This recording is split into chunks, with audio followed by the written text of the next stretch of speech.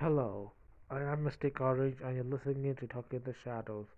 This is video 192.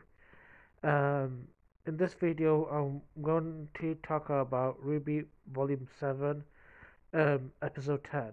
Um, so I've been, en- so far, I think I've been enjoying uh, Volume 7 really much, even though I did like nitpick a little bit about, you know, um, the like um Willow. Um, I did nitpick about the Ace Ops and Happy Huntresses, but those are like mini mini stuff.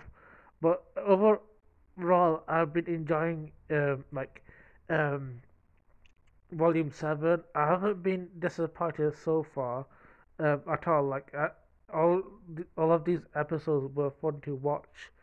Um, but this episode is probably the weakest of the episodes.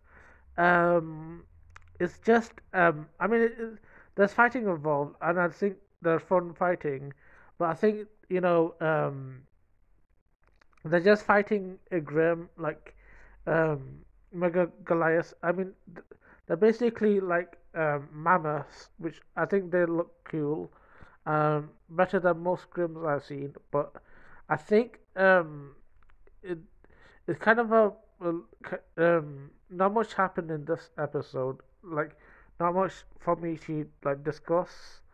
Um, I think there's gonna be better uh, episodes in the like after this episode, but I think this one is the weakest. Um, yeah, I don't think there's enough for me to discuss about about this episode other than like uh, some cool moves like Ruby and um, you know, Penny fighting the Grimm, but like we we be fighting Grimm all all the time. I feel like it doesn't feel as you know as epic as before. Um, the only Grimm that I feel like feels a real threat was Apathy. Um, yeah, Grimms like these they don't feel like a threat to me, and so I'm not excited when I'm seeing like people fighting Grimm. So yeah.